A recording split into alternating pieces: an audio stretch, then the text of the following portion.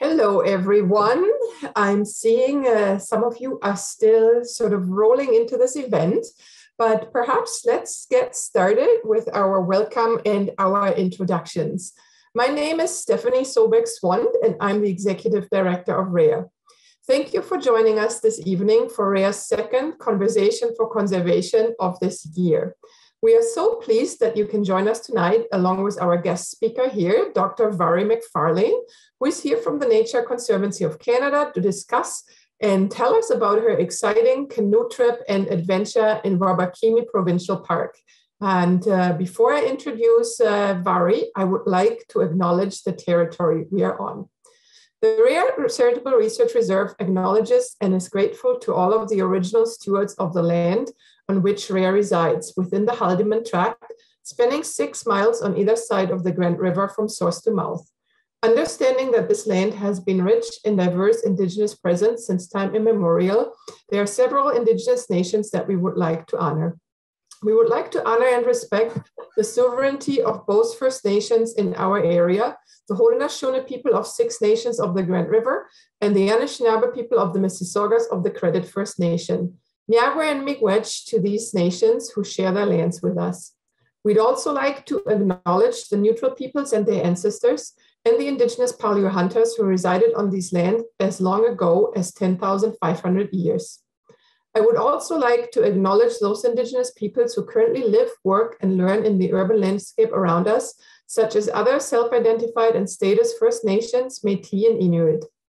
As an organization that is committed to reconciliation with all Indigenous peoples of Turtle Island, we recognize that our land acknowledgement is only a first very small step in the process of healing and building better relationships with one another and with the land and waters. We will continue to honor our commitment to reconciliation and truth by continuing to learn more about truth and settler responsibilities, working towards creation of meaningful and systemic change in relationship building that accommodates Indigenous collaborators at RARE to braid Indigenous knowledges and worldviews. And before we start today, I would also like to express my gratitude that we can gather here tonight in freedom and peace, as my heart goes out to those, particularly the people in Ukraine, who continue to suffer from the injustices and the terrors of war, oppression, and outright toxic narcissism. And let's remind ourselves about our own privilege that we enjoy here, and let's not ever take that for granted. Thank you for joining us, and uh, I have the, the great honor tonight to, um, to introduce Mhairi, who I've known actually for, for quite a long time now, I think since pretty much 2008, which I think is, is around the time when, when you came to Canada, perhaps, Mhairi. So Mhairi McFarlane is the Director of Science and Stewardship for the Ontario region of the Nature Conservancy of Canada. She oversees stewardship of NCC properties throughout Ontario and landscape scale planning for property acquisition. She first joined NCC in March 2008 and spent six and a half years as a conservation biologist in southwestern Ontario, where she designed, implemented, and managed field scale restoration of habitat in Norfolk County and on Pelee Island.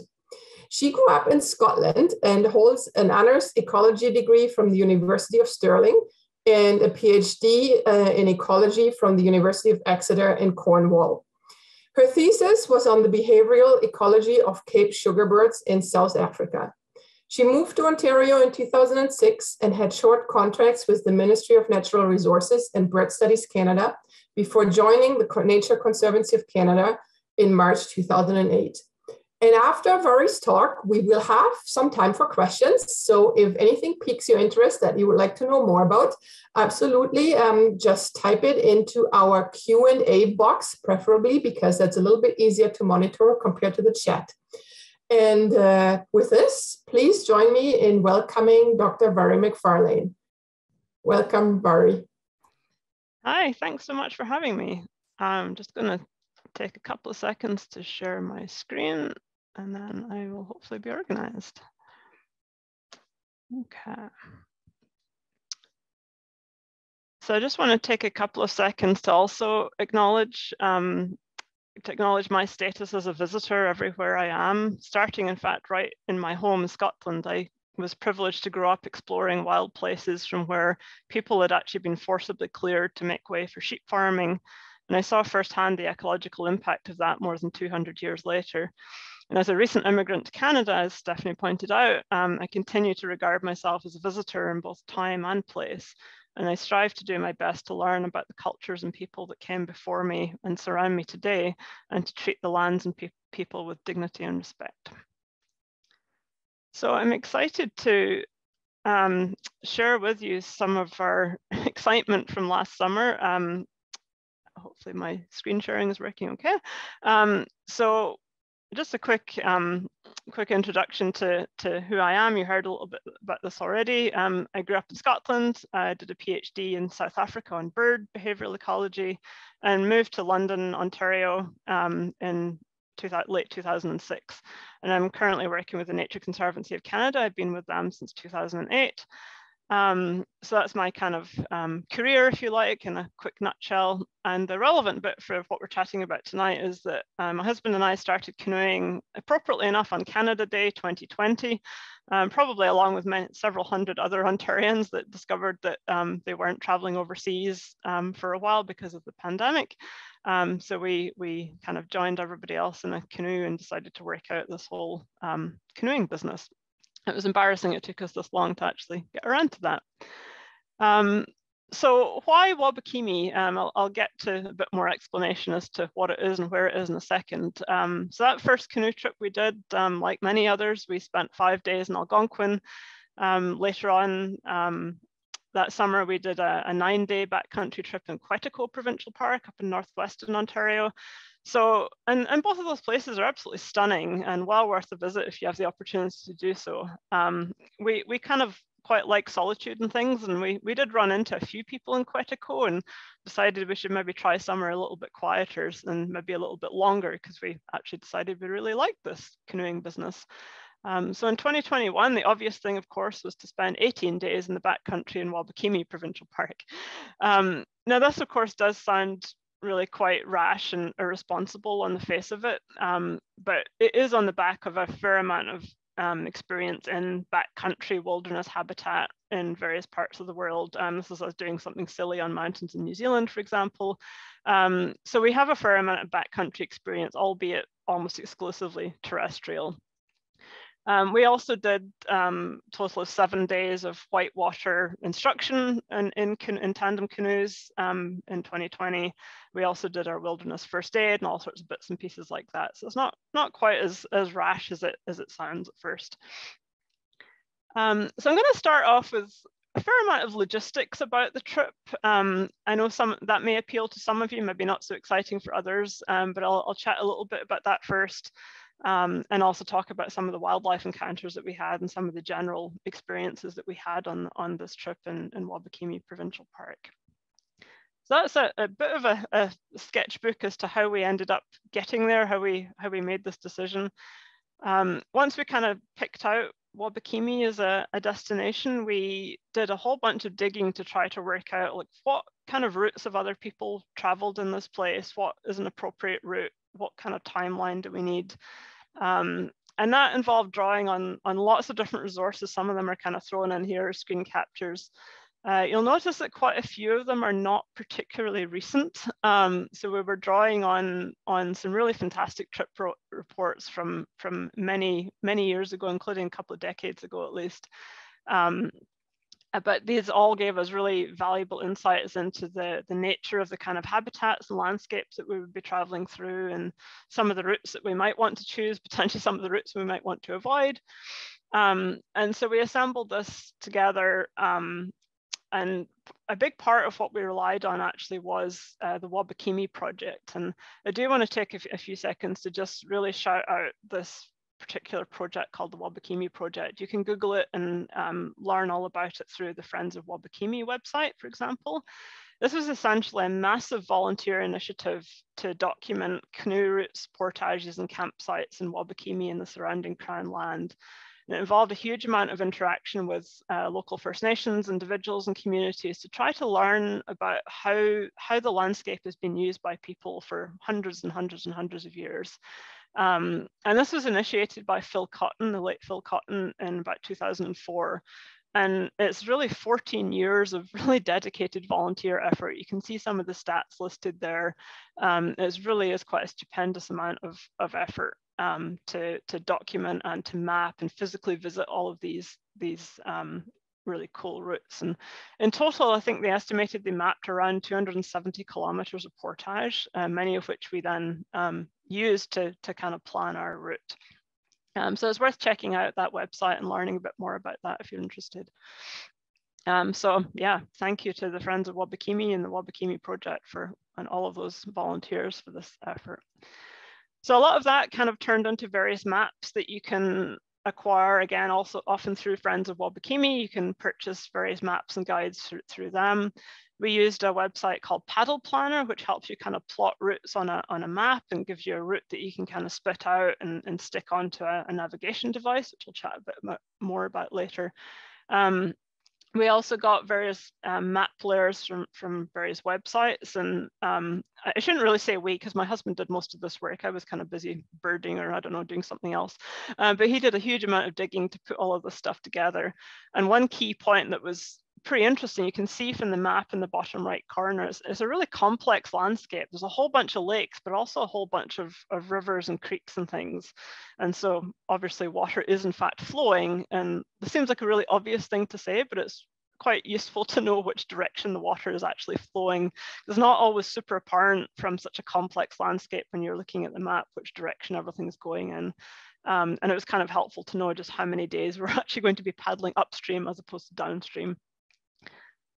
Um, so we kind of assembled all of this information as best we could and, kind of the mixture of scanning and PowerPoint and cutting and pasting, moving stuff around, kind of assembled our own maps with as much information as we could glean from those various guides and, and trip reports I mentioned earlier. Um, so we created a whole series of paper maps like this one um, with little insets showing you know, information about potential campsites, information about some of the rapids on the rivers, um, and bits and pieces about portages and things where we had that information. Um, so we ended up with a whole series of maps, you know, 18 days covers, you, you can cover a lot of ground on that. It's about 300 kilometers that we covered in total. So it was quite a lot of maps. Um, we had a backup copy of all of these kind of buried in one of our dry bags and one set for the day kind of in, in the canoe with us. Um, so we also used a, a, piece of software called Gaia GPS, um, which is a really cool um, software that you can you can log in and set up an account. And for about twenty dollars a year and an annual subscription, you can actually download maps um, onto your phone so that you can use them when you're you're offline out, out cell phone range. so we did that, and of course we um, didn't rely on that for navigation. We we had two copies of our paper maps, as I mentioned. Um, kept the most of them dry and buried in a, a, safe bag and just had the ones that we needed for the day out to hand.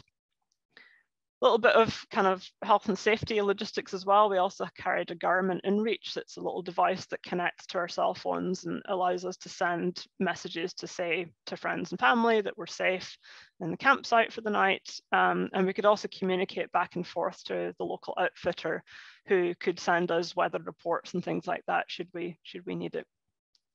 Um, so the picture on the right is just kind of a screen capture of the whole route that we took from, from south to north. Um, and that's kind of a screen capture from Gaia GPS. Um, zoomed in a little bit further, you can see the kind of level of detail that you can actually have right on your phone screen or GPS as you go, which is actually really handy for some of these really complex landscapes that we find ourselves in. Um, I'll talk about all of the other random red blobs later. Um, you're probably wondering how on earth you thought I could cope with the cell phone in the back country, but we um, kitted ourselves out with this cool little solar panel and some, some backup um, battery packs. So we're actually able to use our phones for, for kind of navigational aids throughout the whole 18 days. Um, I was using them for documenting birds and wildlife that I'll talk about later. I used them for an awful lot of the photos that you will see as well. Um, so it was actually quite straightforward to keep them, keep them going for that trip talk about a little bit more of the logistics around that lately, later. Um, some, some, more logistics. Um, in terms of food, um, we had 18 days, two humans, no cats, despite Kitty McCatface's best attempt to join us. Um, so we reckon we had about 30 kilos of dehydrated food. So this is um, food that we cooked at home and, and dehydrated ourselves and vacuum sealed into kind of packs for, for every night. Um, of course, um, it was important to have some adult beverages as well. So we, we decanted a bottle of port and a bottle of bourbon into these um, flexible platypus bladders. Um, as you might surmise in a few slides, the trip was actually so arduous that we ended up bringing quite a lot of that back because we didn't have very much downtime to actually enjoy it. But um, it's nice to have a little treat in the wilderness sometimes. Um, and each night, wherever possible, we hung all of our food and, and sort of smelly scented items in, in dry bags in trees in a pulley system so that we could keep them out of reach of bears. Um, the problem is that quite a lot of the landscape that we traveled through didn't have very many standing trees. It had either been recently burned or the trees were such that you they just didn't have big heavy branches that were suitable for making a, a suitable bear hang. Um, and in those situations, we just stashed the food kind of away from the, the campsite and we didn't actually have any problems at all. So, um, so where is this place that I keep going on about? Um, so it's way the heck up there. So it's um, a few hours north of Thunder Bay in northwestern Ontario. So it's a good, good two days of driving. Um, so we're based in London. Um, we left on the 19th of June, stayed in Sault Ste. Marie in the way with some friends, and then continued up to Mattice Lake Outfitters just outside of Armstrong um, and got dropped off to start paddling on the 21st of June. Now, those of you that are familiar with, with bug season in Ontario will be thinking that we're completely and utterly crazy because that really is peak bug o'clock. Um, but I'll kind of talk a little bit about why that is a little bit later, and I've given a little bit of a clue there. Um, so yeah, so that's where we went. Um, in terms of our boat, um, we kind of really jumped in hard into this whole canoeing business and, and invested in, in two canoes, in fact. Um, but this is the boat that we took for this trip. It's an H2O Voyageur, 17 foot canoe. It's about 25 to 27 kilograms, um, which isn't my problem because Brent carries it. Um, it's actually made locally in Tavistock, so um, super local, um, really, really nice boat that we, we really enjoyed on some pretty pretty rough low water level conditions. It survived very well and hasn't needed any repairs at all. Um, so it's, it's a really good, much much lightweight, much lighter weight alternative to um, traditional Royalex canoes, for example. Um, so yeah, so this was the, the, very start of our trip at the very, very south end of Little Caribou Lake. Um, boat loaded up, ready to go. Um, and again, for those of you that are gear nuts like my husband is, um, that's a, a, rough breakdown of the, the kind of different bags and things that we had. A couple of big 100 litre um, dry bags for the bulk of our stuff. Um, two backpacks, um, camera bags, of course, little thwart bag for odds and ends and emergencies, and three paddles, so a, a spare paddle. And that fitted pretty nicely into our 17 foot boat. Um, just the two of us, no cats came. Um, so it was pretty spacious. So just a little bit more in the way of um, gear tips and tricks. I've mentioned already that I, I use, both of us, we used our smartphones a fair amount for um, photographs and documenting natural history and, and for a little bit of navigational aids as well. Um, so how you can make that happen in the backcountry is simply keep it on airplane mode. And some phones also have a battery saver mode as well. Um, and that really ekes out battery life. We could keep the, the phones going for two, sometimes three days, depending on how many photos we're taking. Um, if you're using it for navigation and some of the other natural history apps I'll talk about, then just make sure that the GPS system on your phone is, is enabled. Um, we have these um, battery packs, which um, would do kind of, forget, kind of five or six charges of those phones. Um, and of course a lanyard so that when we're waving it around in wet conditions, we can always remain attached to it. Um, so I've mentioned, alluded to this a little bit. I was um, using eBird and iNaturalist a lot. Um, I do this a lot in the backcountry especially, and I just gathered all of that data on the phone and submitted all of that those checklists and information back once I got back home to my Wi-Fi connection um, back in London. Um, and yeah, I already mentioned we spare battery pack um, and the solar charging system that we could actually lay it out in the canoe while we were paddling and kind of charge things up on days when we weren't paddling on, on rapids um, and days when it wasn't windy or hang up at the campsite and charge things up um, at the end of the day.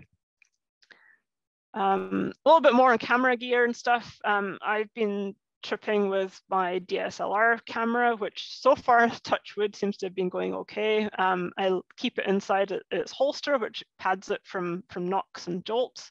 Um, and that in turn sits inside this dry bag tote thing, which I have in front of me and in the front of the canoe.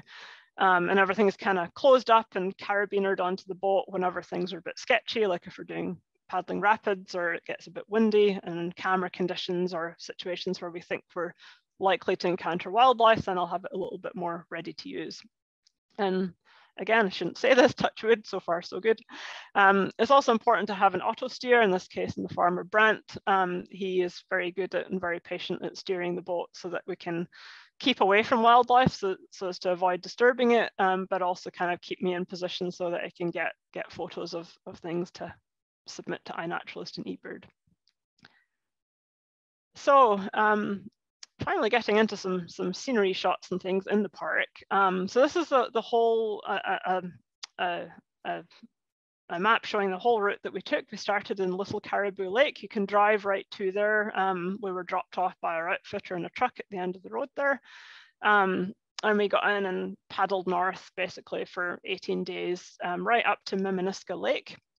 And that there were picked up by a float plane from our, our outfitter and he flew us right the way back, not quite over our route, just east of where we actually paddled. Um, and you can see roughly some of the names of the lakes, that, lakes and, and um, features that we paddled through. Um, the, the bulk of the, the kind of middle part of the trip um, is all in Wabakimi Provincial Park itself. The first day actually was not, it was on Crown Land on the outside. And then a whole chunk was on the Misehkow River, which is actually not protected. Um, and then the Misehkow feeds into the Albany River, which is um, the banks of the Albany are protected by provincial park. Um, and then Miminisca Lake is effectively a part of the, the Albany River. It's just where it kind of widens out quite significantly.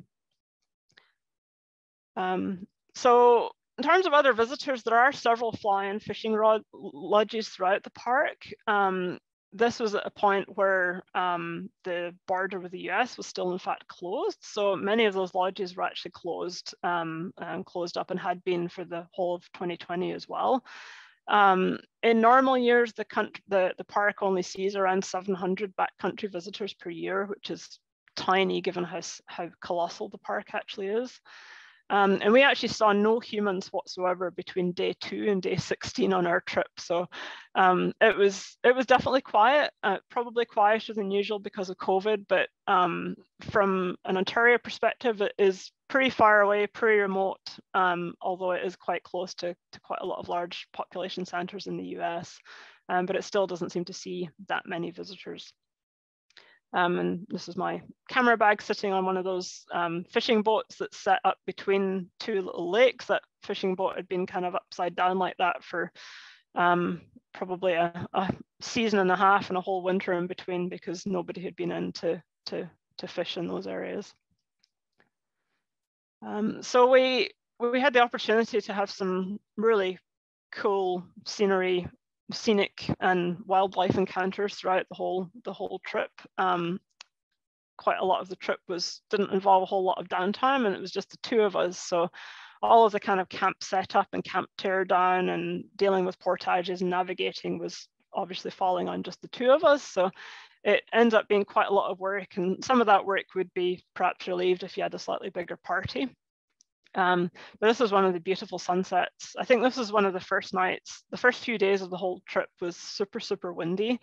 So we are paddling into a headwind for about five or six days and ended up losing quite a lot of time. And I think this was one of the first days where the wind finally stopped and the water was beautifully calm and everything just felt suddenly perfect again. Um, so it was a, a really beautiful evening. Um, so in terms of portages, we I, I, can't remember how many actual portages we we made use of, but um, all of them were pretty short, um, and they're maintained by a, a um, sort of a couple of four a couple of four four member team partnerships with um, First Nation communities. So there's several First Nation communities kind of in that whole area around the park and the surrounding lands. Um, and there's quite a few individuals from, from those communities that are hard and maintain the portages every year. So it's such a huge area and there's so many kilometers to paddle and to maintain that there's kind of a, a rotation across the years. So a given portage may only be maintained every two or three years, something like that um, which is actually really cool. It works really well. It, it, keeps the, the real kind of wilderness experience, if you like, in the park. Um, of course, that does mean that you, you should expect to encounter some portages that have not seen humans for two years and may have experienced quite a lot of wind in the, in the interim. Um, so this is a beautiful uh, trail in this photo here. Um, really, you can ask for, for better maintenance on that. Um, Unfortunately, some of the portages looked a little bit more like this. Um, and this is absolutely not a criticism of, of the teams that work so hard to maintain these portages. This had been a fairly recent significant wind event, we think.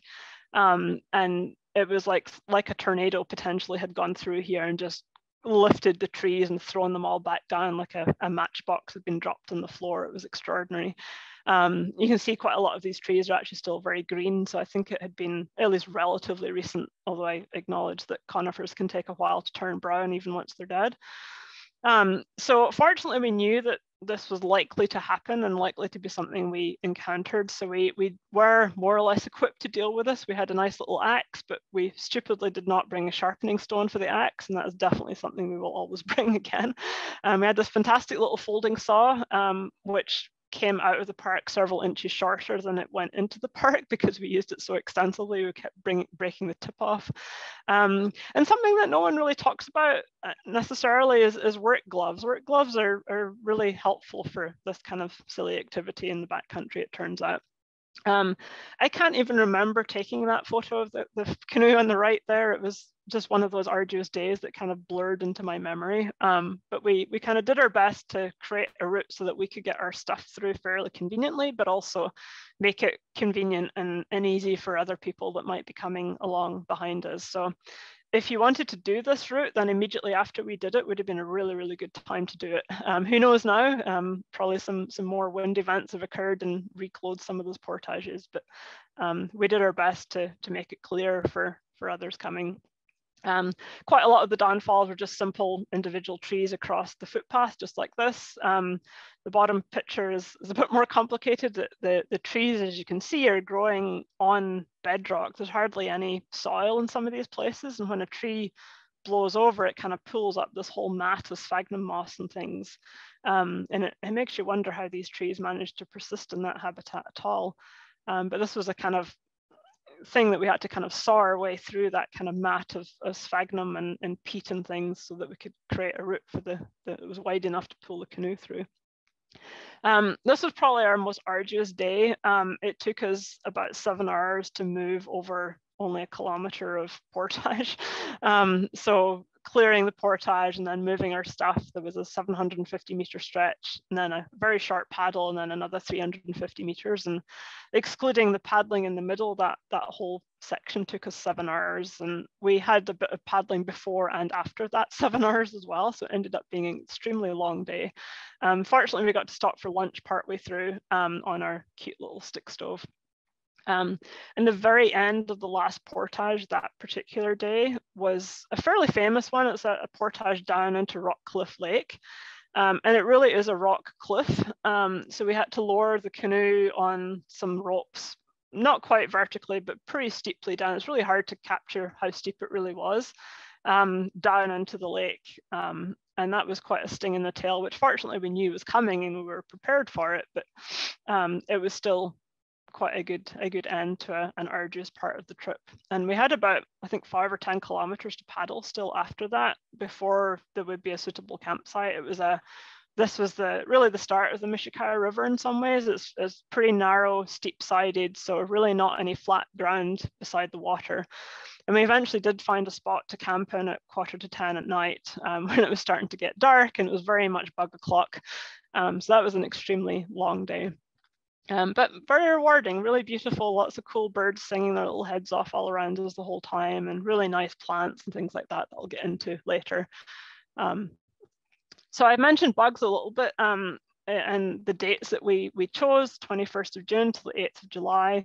And yeah, we absolutely had them all. We had black flies, we had mosquitoes, we had deer flies, we even had a few stable flies as well. So we really had the entire mix. Um, and this is a photo of the, the inside of the fly of our tent. So there's mesh between me and all of those mosquitoes, but that was a, a fairly mosquito-y morning where the mosquitoes had come in under the, the fly sheet on the tent to kind of roost for the night. And we're hoping to get at those, those warm-blooded things that were inside the tent. Um, I really love black flies. They do really good things to my face. Um, this was this happened on like day two or something like that. So I spent day three not really being able to see where it was paddling, but fortunately Brent could steer, so that didn't really matter. Um, so we, we have one of these Eureka no bug zone shelters, which is actually really neat. Um, it's from a hiking perspective, it seems like a ridiculous luxury because it would never carry basically two tents.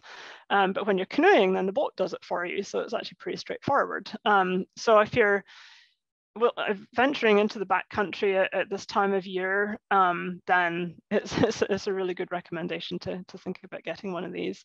Um, we used a paddle joiner, so we could use our a couple of our paddles as a, a tent pole to hold up one end of it. Um, and it actually worked as a really good rain shelter as well. This was the one rain shower that we got caught in um, on the whole trip, in fact. Um, and it was actually really good for, for, we could kind of cook in there and organize our stuff and watch the world go by.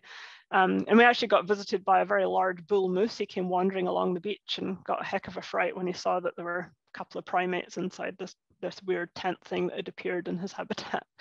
Um, so um, so finally getting to the reason why we chose such a stupid time to go into the backcountry in Northern Ontario um, is that we wanted to contribute to the Ontario Breeding Bird Atlas. Um, so this is an, an in initiative that's, that runs for five years at a time, every 20 years or so in Ontario, and it occurs in other provinces as well, but right now it's Ontario's turn. Um, so last year was the first year of the five-year effort to collect data on breeding birds throughout the province. Um, so the whole province is divided into squares that are 10 by 10 kilometers, and you may have noticed them on some of the earlier screenshots that I showed, but you can see these kind of faint squares on the, the map of our route here. So we pass through a lot of breeding bird atlas squares. Um, and the idea is that volunteers like you and I can go out and survey um, birds during, during the breeding season um, for each species and document where the birds are, how many there are, whether they're breeding successfully, things like that. And these data are really important to inform um, knowledge about trends in bird populations and to start informing what kind of conservation intervention organizations like the Rare Charitable Research Reserve, the Nature Conservancy of Canada, and everyone else, I mean yourselves right at home as well, could be doing to, to try to um, help conserve birds. Um, so this is something that, that you can all contribute to if you're interested. Um, if you haven't come across it, then I encourage you to Google Ontario Breeding Bird Atlas. You'll find all the information on the website about how you can sign up as a volunteer. And you don't have to go into the, the back country like this to contribute. You can contribute from your own backyard or your park in the, the town or anywhere you are in Ontario over the next few years. Um, the volunteer effort using your, your eyes and your ears is augmented by um, automatic recording units or ARUs. Um, and these are um, little devices also called song meters, which are pre-programmed to record bird song um, for short birds bursts at dawn and dusk. So we borrowed uh, two of these um, for our trip and I got taught how to use them via Zoom. Um, used an app on my phone to kind of set them up each evening and we could set them up um, kind of near our campsites each night and they would come on by themselves in the morning and, and record bird songs. So i didn't always have to get up at four in the morning to, to try and count birds myself because there was a machine doing it stuck to a tree each night. Um, so in theory we're supposed to install them kind of around 200 meters away from kind of the edge of things. So the idea is to really sample what birds are singing and any other creatures that are making noise, of course, but primarily the focus is on birds, um, sort of in the middle of each type of habitat. Now, in some cases, that was fairly straightforward. Um, picture up on the left is a, an area that was burned relatively recently. Um, so it was fairly easy to walk a fair distance up from the edge of the water. Um, however, the um, the photo on the right um, is a bit of a more typical landscape that we found ourselves in quite a few times. Um, this was also an area that had been burned, but a little bit longer ago, so it had been growing back much more densely and it was super, super difficult um, to move through. And you think that 200 meters is nothing. Of course, you can move 200 meters, but it's really hard to move 200 meters with any degree of speed and accuracy in that kind of habitat. Um, so that's just another shot of the song meter. You can tie it around using these cool um, handy dandy gear loops around either a big tree or in this case, a kind of wobbly little shrubby alder thing um, and just leave them to, to do their thing. Um, so um, I augmented the data that the song meters were busy collecting um, while I was mostly sleeping um, with a whole bunch of eBird checklists. So those of you that aren't familiar with eBird, it's uh, basically a, a, community science um, effort to collect, or it's an online database that stores and collects data on birds all over the planet. So anywhere you are in the world, if you see a bird, or even if you don't see a bird, but you're actually looking for a bird for a certain period of time, you can submit that information to eBird and those data get um, um, processed and they're available for conservationists and researchers again to help us better understand the distribution and movement patterns of birds globally um, and feeds into to our, our ability to conserve them. Um, so I, I made about 100, 139 eBird checklists during the course of our paddling. Um, so I was just paddling along, kind of either listening or, or watching birds and trying to document everybody um, with a focus on looking to see if they were doing something that suggested they were actually breeding. Um, so those dates that we picked, peak bug o'clock um, is the peak of breeding activity at that latitude in Ontario. So that's really the time that you need to be in those habitats, feeding yourselves to all of the biting insects so that you can actually document what the birds are up to. Because any later than that, then birds start to move around, territories break down, young birds start flying around, and it can be really hard to tell where that breeding activity actually occurred. And that's really important to know if something is breeding somewhere, then that's a really important place to potentially conserve or to learn a little bit more about what it is that might that that bird might need about breeding habitat. So some quick examples of what that might look like. And these are things you can look for in your own backyard or on your, your, you know, your dog walk in the, the evening or whatever it is. Um, this is a flicker, a northern flicker that, that showed up in our campsite one of the early nights actually. And he was excavating that hole that you can just see above his feet. Now, this is kind of woodpecker. They actually excavate holes in trees and that's where he, he would be planning to nest. Um, so this is a really good, um, good solid bit of, of evidence that there's a good chance, there's a probability that, that that species is breeding at that site at that point in time. Another example was this northern water thrush. Um, we were moving our stuff along a portage and every time we got to the end and put our bags down ready to load the boat, this bird would pop up and start screaming at us. Um, so I suspect that there was either a nest nearby or maybe some, some recently fledged young that were kind of skulking in the bushes and this adult bird was really agitated. Um, so of course we did our best to give it give it its space and moved away as quickly as possible, but we were able to document that agitated behavior as being, again, a probable evidence of breeding.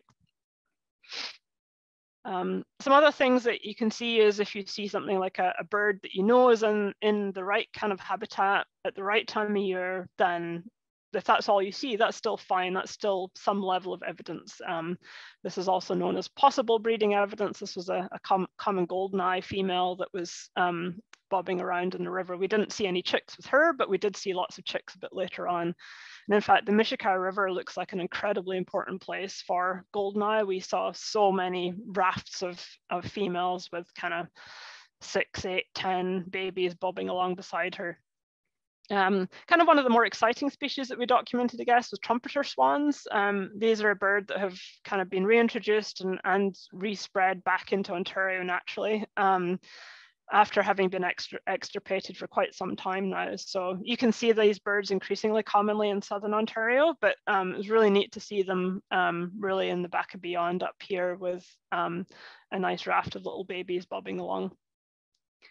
And of course, that's confirmed breeding evidence. It doesn't get any more confirmed than that if you've got adult birds and baby birds right there as well.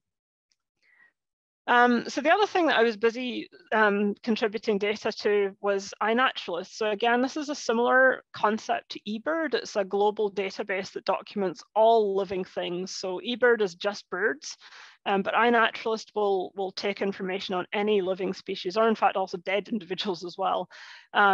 So it's a really cool thing. It's maybe a little more accessible for beginners than eBird might be. Um, all you need is a, a, camera or a smartphone. You can grab a photo, even a fairly crappy photo of you know a dandelion popping up through a crack in the sidewalk. So you upload the photo to iNaturalist. It uses artificial intelligence to come up with a likely identification for you for that species that you've seen. You can then submit it um, and say, yeah, I think iNaturalist, I think you're probably right. I think it's probably a dandelion, but I'm not sure. You can submit it as a dandelion. And then there's an online community of volunteer um, people, some of whom are, are amazing experts and some of them are, are you know, unpaid amateurs that are also really, really good. And they will look at your photo, look at where you saw it, look at the time of year that you saw it, and they will also suggest further identifications to that thing until eventually, if there's consensus, then your observation is, is considered to be identified, it's considered research grade and is then available again for researchers, conservationists, um, to help us understand the, the distribution of species around the world.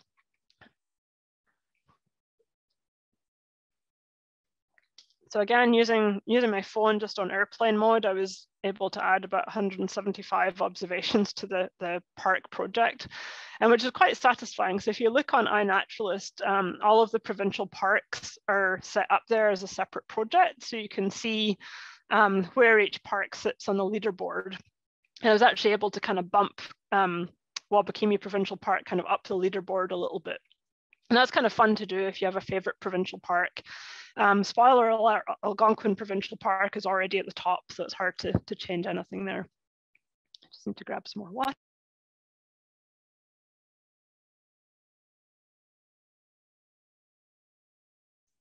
So not only is this kind of a fun thing where you can set goals for yourself and kind of play around and see where you you stand on these things but it is actually really helpful for land managers to be able to see what kind of species you're seeing, how many visitors are visiting and, and documenting things on iNaturalist and things like that. It really is a good, good way to kind of turn a, a, random walk in the park into something that actually contributes to our, our understanding of, of species distribution and something you can try out at home um, right away.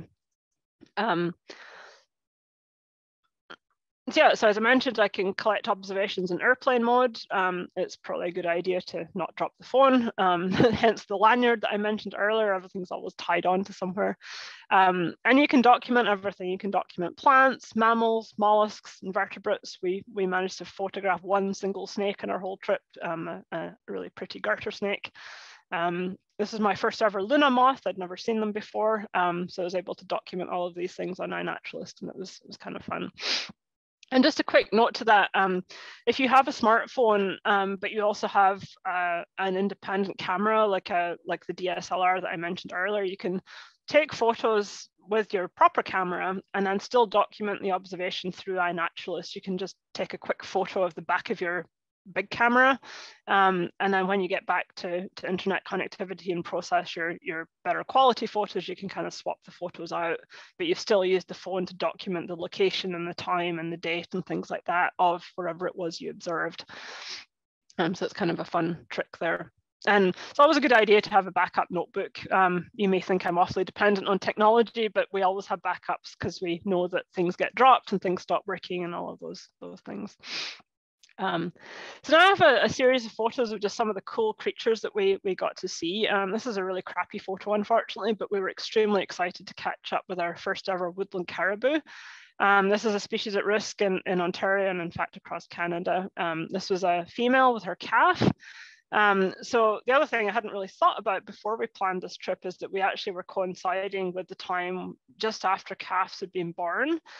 So females tend to swim out to fairly small islands on big lakes to give birth um, in order to try and reduce the likelihood of encountering wolves, which tend to predate, especially the calves. Um, and so once they've given birth and kind of they've, they've, found their feet, then they will then swim them to other islands and other other areas that are, you know, relatively far from where wolves tend to find them. And so it's a great great time of year to actually be able to see them swimming between some of these islands. Um, so this was actually one of the early days when it was super, super windy. And we were really struggling to keep the canoe both upright and pointing in the direction that we wanted to go in. Um, but Brent was extremely generous with his muscle power and was able to more or less hold the canoe steady while I grabbed some photos. Now that the animals were they must have been three or 400 meters away or something like that. This is a, a 400 mil zoom, zoom lens, and I've then further cropped the image. So we were very far away from these animals. Um, but it was a real privilege to see them. We, we saw them, I think, on one other occasion on the trip. And Wabakimi Provincial Park and the surrounding area actually is a really important place for this species in, in an Ontario context um, and can be a, a good place to, to actually see them. Um, we saw quite a lot of American black bears like this guy. Um, this was actually a bear that I ended up a bit too close to completely unintentionally. It was a, a bit of a windy day and we got stuck because um, we had to round a headland and to get around that headland we were going to be in really winds angles that we couldn't cope with. So we just sat it out for a few hours and I kind of got bored and wandered off birding. Um, and as I was tracking down a, a, little warbler that was carrying some food to its nestling, then I heard some crashing in the undergrowth, which was not Brent, it turned out to be a bear. Um, so we had a little chat about how I was not delicious and how it should probably go away now, please. And then it did, which was quite a relief. Um, I should mention that we did have bear spray and, and whistles and things like that. So we were um, doing our best to be as responsible as we could and always aim to give wildlife as much of a, a much space as we possibly can. This was a, a really random chance encounter. Um, we also saw huge numbers of moose. Uh, this was a beautiful um, bull moose that was, um, again, unfortunately, as I mentioned, we, we try to give wildlife as much space as we can, but this was on the Misehkow River and we were paddling with the current and it's a relatively narrow stretch of river that's also really quite bendy.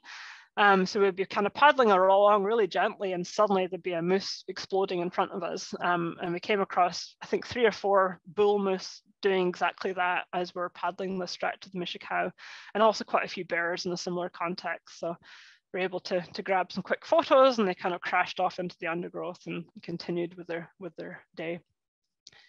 We didn't see very many otters, but towards the end of our trip, we caught up with, I think, three or four separate groups of them just in this kind of kilometer stretch of, of river on the Albany River. Um, I guess the kind of texture of the, the muddy banks there was apparently just right to set up home for otters. So um, this little guy was fairly curious, but most of the others kind of disappeared without trace fairly quickly.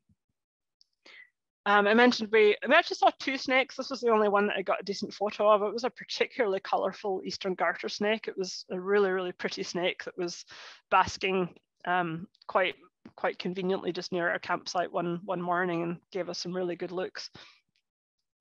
Um, lots of really interesting wildflowers. So twin flower is a, it's a very common boreal plant, but they were in peak condition when we were there. It was the, the forest floor was absolutely carpeted in these tiny little bellflowers, um, often growing on kind of fallen logs like this cluster. Um, really, really pretty to see. I was super excited to catch up with this plant. This is a species I'd never seen before, tall bluebells. Um, there is a species of bluebell called Carolina bluebells down here in southwestern Ontario. It's pretty unusual. I haven't seen it in the wild very often down here, but this was a, a very similar looking species um, that occurs in kind of northern and, and western Ontario and beyond. So this was in some particularly rich woods around Iron Falls on our, our trip our very last morning, we got to see our only American white pelicans. Uh, those of you that maybe aren't familiar with this, it kind of blew me away when I realized this actually quite recently um, that American white pelicans actually breed in the boreal. Um, they're not just a, a, wacky tropical bird that you see when you go to Florida or whatever. They um, this species actually breeds in, in boreal bogs and wetlands and, and really quite remote habitat we didn't come across any nests. This was just a big flock that were kind of loafing around the edge of the lake near our very last campsite. And then,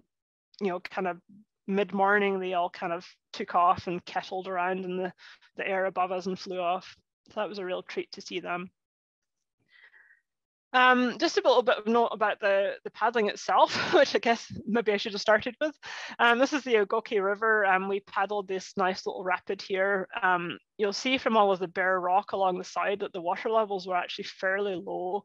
And I understand that they were perhaps a little unusually low even for the time of year that we were there. So um, quite a few of the, the rapids were a bit of a bump and a grind, which wasn't very pleasant, and the boat wasn't terribly happy with that, but it remained completely intact, although it's now very scratched. Um, so this is a fun little stretch. It also meant that um, we had some pretty crappy choices to have to make occasionally. And I think this is the early reaches of the Misehkow River, um, which is pretty rocky and lumpy and not super pleasant looking to paddle. And so we actually walked down the stretch of the river along the edge, trying to scout the rapids, trying to make a decision about whether we would paddle it or not. And if we did, which line we would take. Um, and we thought, well, it's kind of crappy. We're not sure we actually really want to paddle that. So maybe we'll take the portage instead. And the portage route was marked as cutting that corner that you can see here. So it cut across a little headland. And we started trying to follow the portage to get back to where we'd left the boat, and we basically could not find the portage at all. Because again, it was one of these situations where there'd been a fire probably about a decade or more ago, perhaps, um, and then a whole bunch of windstorms and goodness knows what else. And the portage was just completely impossible to, to even imagine navigating with a boat and a bunch of heavy bags. So we ended up walking back up the river and then doing a kind of bump and grind down the stretch of the river, which basically means we paddle for a few meters, hit a rock because there was no water, and then get out and lift the boat over, drag the boat over, and then get back in and paddle through the deeper ponds and things or deeper kind of pools. Um, so that was that was perhaps one of the lower moments on this trip was trying to navigate through these re really rather low water levels with the, the terrestrial part being also really unattractive. Um, speaking of low water levels, we also um, got to um, demonstrate that PFDs work really well in mud as well as water. Um, so this was a big kind of pond, slow moving streamy area on Webster Creek. And we basically bottomed out because it turned out that it was only two or three inches of water on top of bottomless mud. Um, and it's really hard trying to paddle through mud, it turns out. So Brent thought, oh, I'll just jump out and push the boat. And that was a really bad idea. Um, everyone survived. We got out eventually, but it was a very muddy experience. Again, as a result of fairly, somewhat unusually low water levels for the time of year.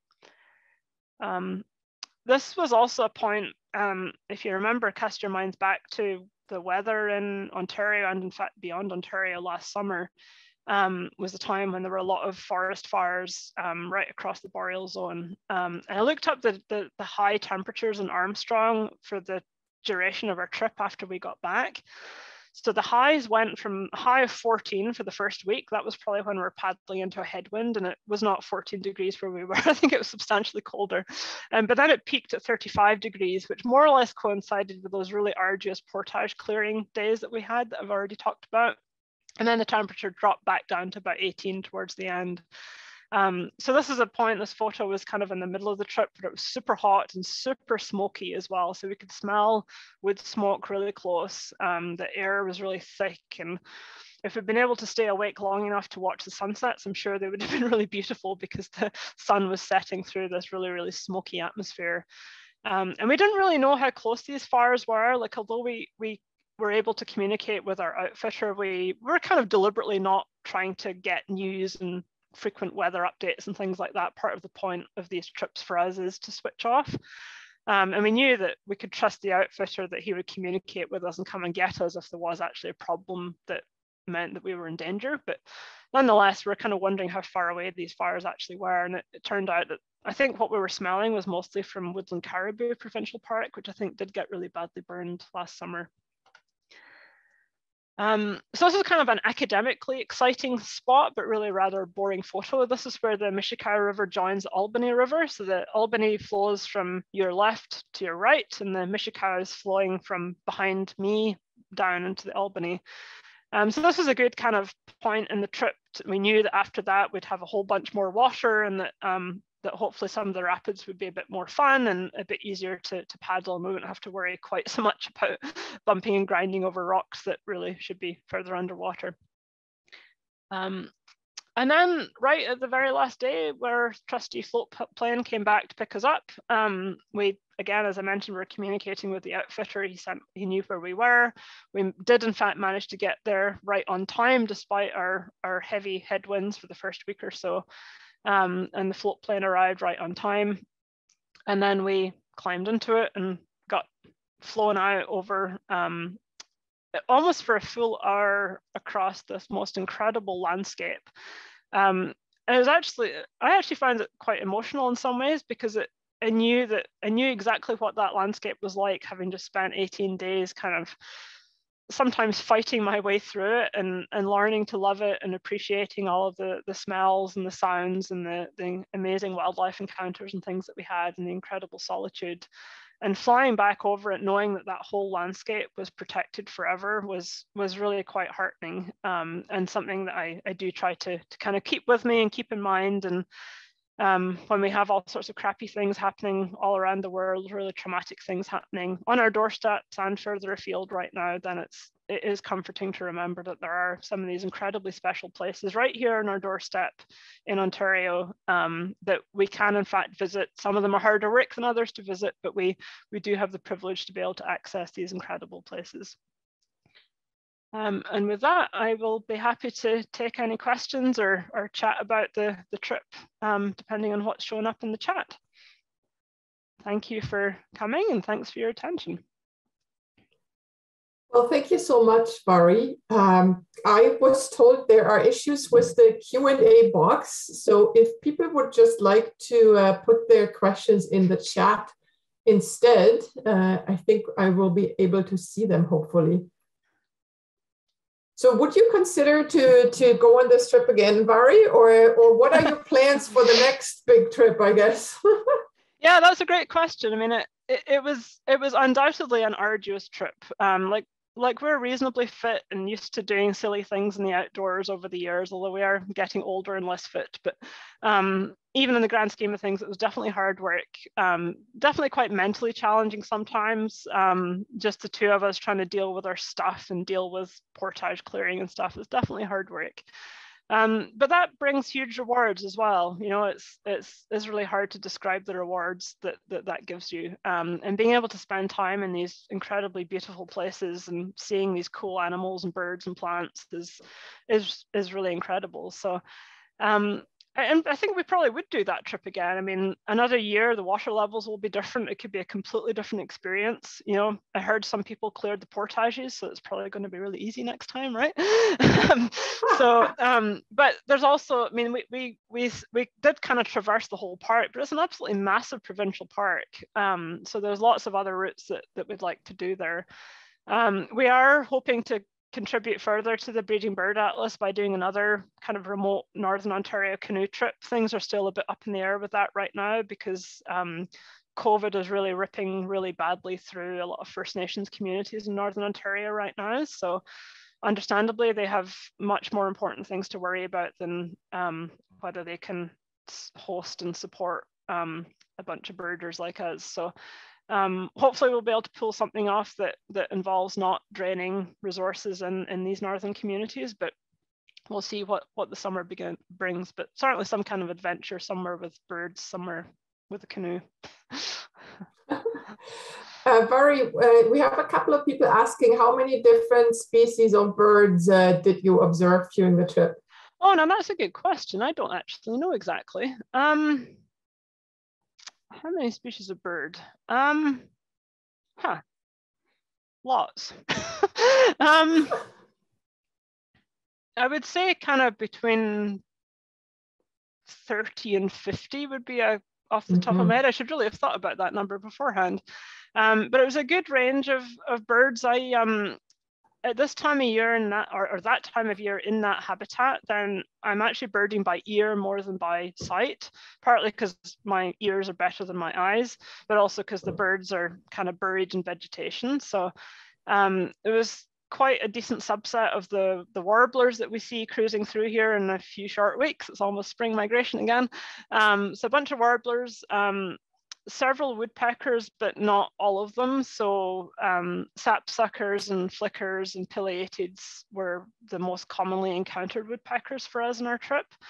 Um, quite a few ducks, so common mergansers and the common and the common golden eyes that I showed you the picture of, um, and just a few individuals of a few other species. We saw one pair of blue-winged teal, for example, um, and I think one or two pairs of ringneck ducks. Um, not even many loons, actually, a few common loons, but not that many. Um, and birds of prey is mostly broad-winged hawks and bald eagles, but we we didn't encounter, but could have encountered golden eagles as well. They probably breed at that latitude. Um, so, and actually, the, one of the fun things was um, we found quite a few sets of Canada jay families. So they actually breed much earlier in the year, in, in the winter, in fact. So by the time we were there, the chicks were like big and already able to fly and they were kind of following parents around um, but they were black so we could see that they were weren't adult plumage. So it was really neat to see that life stage in that in that species that you you don't get to see very often. Yeah that's great. Well jenna is asking if there were any wildlife species that you were hoping to see but that didn't make an appearance Oh, well, I always want to see a wolverine, obviously. Um, everyone needs to see a wolverine. Um, and I, I, think that they are in there, that landscape. The other thing that we didn't, well, I actually saw one beside of, on the side of the road, um, but we didn't see any during the trip as a, a lynx. Um, that would be a real privilege to see hmm. a lynx or and or a wolverine in the wild doing their thing. And until then, I can just choose to believe that they don't really exist and that I'm not really missing out, and then I'll hopefully get to see one one day. John is asking if there are any invasive plant species up there in the park. That's a good question, John. Um, I did not see any. Um, I always keep an eagle eye out for non-native invasive Phragmites um, or common reed, the big grassy thing that you see growing along the highways in southern Ontario, because I'm always terrified that that's going to leap into these remote areas in northern Ontario, but I'm pleased to say we did not see any non-native Phragmites. Um, the, the boreal ecosystem in some ways is, is almost seems like it's relatively robust to, to at least some of the common invasives that we see more often in southern Ontario. Um, and we were lucky we were in a fairly intact landscape. It was, it was subject mostly just to natural um, fire regimes and wind blowdown and things and doesn't get disturbed by you know lots of vehicles and things like that that can often be bringing in invasive species. Um, so it was it was it was very very rewarding to see such a relatively intact ecosystem in fact. But it's not it's not immune to, to those threats. I mean there's certainly anytime you have encroachment around the edge or industrial activities around the edges or roads being constructed through places like that then those are all really good conduits for invasive plants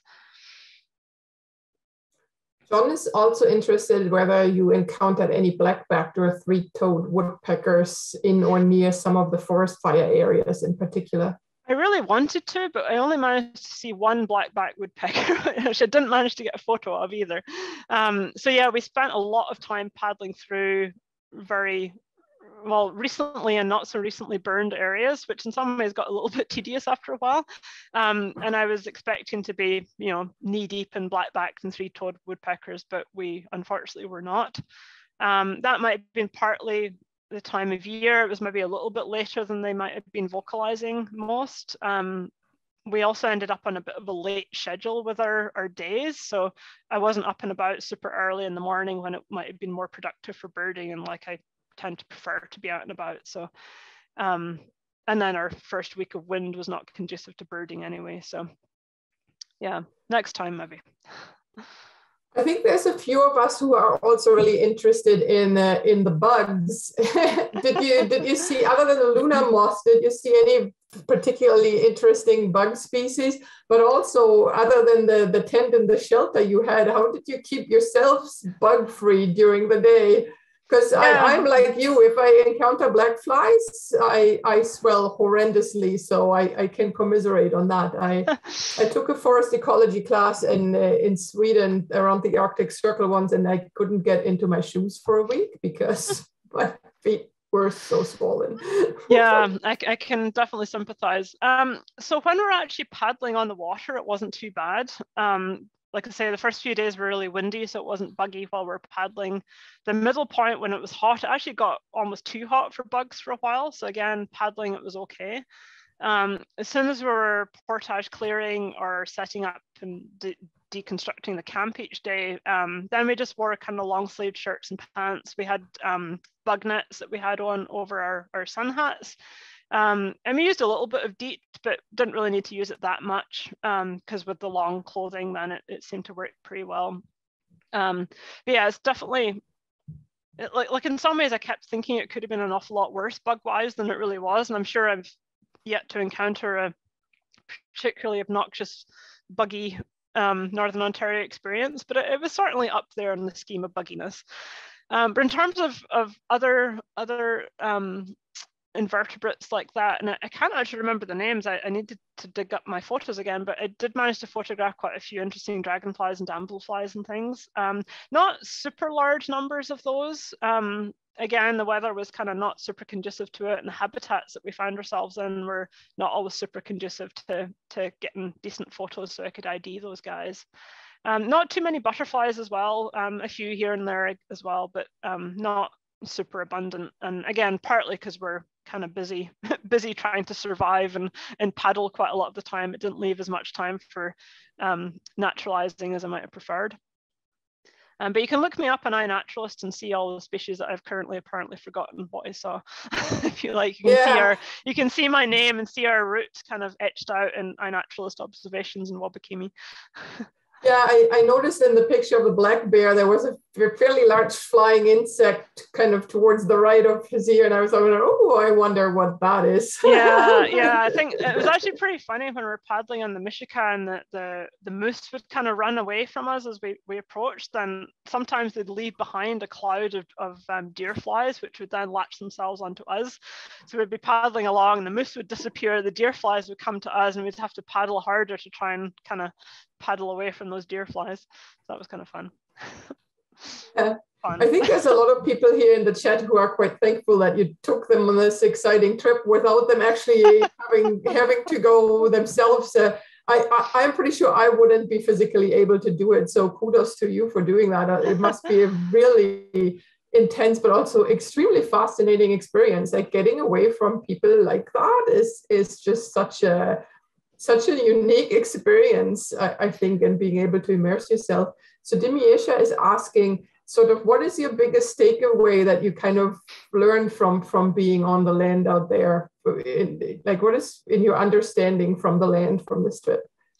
Yeah, it's a good question. Um, it's really hard to kind of put that into words. I think just getting a feel for that that ecosystem is you know you can read stuff and you can look at photos and, and all that kind of stuff and that's obviously really important as well. I don't pretend to have any real expertise in this particular ecosystem in ontario but having spent a bunch of time stomping through it you really get a, a kind of visceral feel for how it all hangs together and it kind of makes sense that you see that species of plant on that type of soil or you see it on that that aspect or whatever. So just having that kind of better feel for for how it hangs together and then starting to link that to kind of which birds i'm likely to be hearing in association with those plants is just these kind of general soft feelings that you get.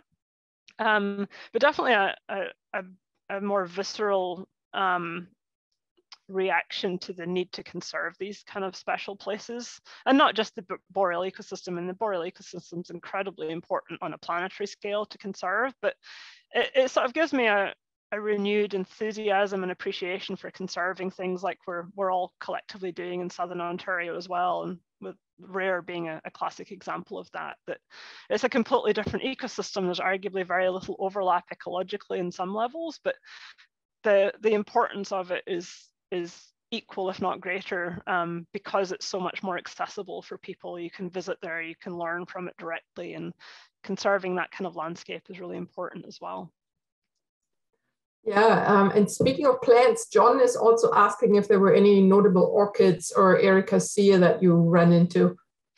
Um, so I think I had a, a, picture early on of the pink lady slipper orchids. They were stunning. I mean, they're again a fairly common not even boreal. You don't even have to go that far north to see them in Ontario. But um, I don't get to see them every day down here in London, so I get a real kick out of seeing anything kind of orchidy like that. Um, and it was really interesting during the course of the trip. Um, time was passing, but we're also moving north throughout it. So it was interesting to observe the changes in phenology during that time. So right i think the very first time i, I saw them on the trip it was um, it was one in absolutely beautiful condition perfect. I have to get a photo of this. And then two or three days there were orchids in beautiful condition. And then they started to senesce and started to kind of not be very obvious. So over the course of the trip and the latitude that we're traveling over then we actually observed that that kind of seasonality in plants. Same with the um, uh, the bunchberry, which is another really even commoner boreal plant, is actually a, a type of um, dogwood. It's a little ground hugging plant. And again, during the trip, there were peak condition and then all started to kind of look a bit sad towards the end of the trip. So, yeah. Yeah, that's interesting. So, so Nina is is asking and interested in your gear. And did you treat your water? And did you only use the stick stove, or did you also take gas into there too? Yeah, good question. So we had a little stick stove which we used a bunch for lunch. Um, so Brent makes a really nice bannock um, on that, so that was really good for lunch.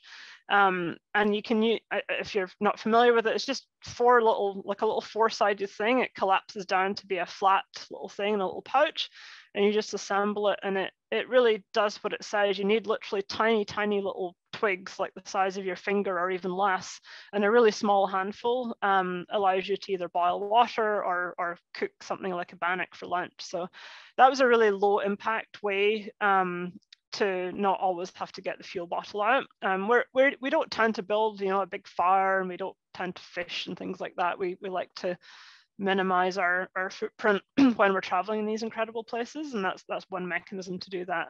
Um, our main stove though was um, with um, it was an MSR. Um, I forget what species the stove is called, um, but with with fuel. So we kind of measured out how much fuel we thought we would need and had a good kind of half bottle extra um, in the event that the plane couldn't come and get us or we got stuck somewhere for a bit longer than we were expecting. Um, so yeah, a bit of a mixture. Can't remember if there's a second part to that question or not. No, I I, th I, think I oh, okay. about the if you whether or not you treated the water. Oh yeah, water. Sorry. Yeah. Um, yeah. So we did. Um, so we used a gravity filter. So it's actually a really simple device. You kind of fill like a, a flexible platypus thing with your lake water, and it you just hang it on a tree, and it um, uses gravity to to flow down through a filter. So there's a regular um, whatever type of filter it is. But then we had a, a carbon filter as well to remove any flavors because some of the water was quite quite leaky in flavor. Um, so we, we had those two filters there, and um, so that that was great. We could filter um, I think six liters at a time. So we'd kind of scoop out water in the middle of the lake before we'd get into to shore to the campsite, hang it on a tree, and then by the time I got the tent up, then we had drinking water for the evening and, and into the morning. Um, we had backup, um, we had extra, a bit of extra fuel so we could boil water if we needed to, if that broke down for some reason. And we also had some um, little sterilization tablet things again as another backup. Because it's such a long trip, we wanted to have a little bit of redundancy in some of the more important bits of gear. Thank you. And Dimisha is now also asking, would you say that the length of the trip allowed you to yield the quality of information that you anticipated? And would you make now in hindsight any changes on how you collected the data? Yeah, that's a great question. So, so this was primarily a recreational trip with a bunch of voluntary data collection kind of thrown on the side. Um, when we've been in correspondence with the people that are running the breeding bird atlas, for example, this year, and the the trip that we were looking at prior to COVID making a resurgence in the north, um, it was very stripped down in terms of distance and landscape that we would cover because um, for those trips we're expected to spend two or three nights in one place and go out and, and document birds in the morning at, at discrete um, predetermined locations. Um, so to do that properly really needs a lot more time and you, you really also need to not be rolling into campsite at quarter to 10 at night so that you can still get up at four in the morning to get out for that peak time when the birds are singing in the morning. Um, so time on a, a, trip where we're much more focused on, on data collection, then we'd cover a lot less ground, potentially do it with another set of people so that we could kind of share the load of some of the campsite logistics and stuff like that to leave us all a little bit more energy for actual data collection, things like that. Um, but for us, and, and, my advice to all of you as well, if you're out and about, is um, you can make of it as much as you want. Um, any any data point, especially if it's somewhere remote, is an incredibly valuable data point because it's an incredibly expensive one for, for example, in this case, provincial park staff to go and collect themselves. So if you're there anyway and you've been out for a few nights or even just for half an hour, then grab that data point because it's it's definitely better than nothing.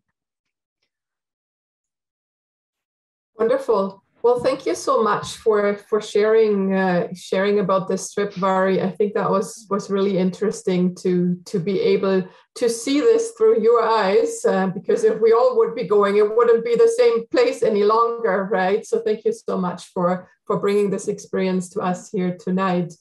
Um, and with this, I would like to also thank everyone who joined us here tonight for this presentation. And uh, also big thanks to Chris Ainsworth and James Bow, who ran uh, the events organization and the tech here tonight.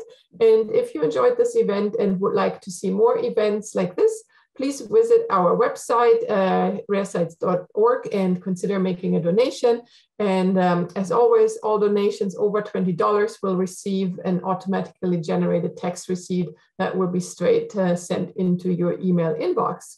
So we hope to see you again at our next conversation for conservation, which is uh, is hopefully um, is taking place uh, March 30th. If the date changes, we'll, we'll let you know and we'll be able to hopefully announce our next speaker shortly. And with this, thank you so much uh, for being here tonight. And thank you again, Mhairi, for this presentation. Thanks so much for having me.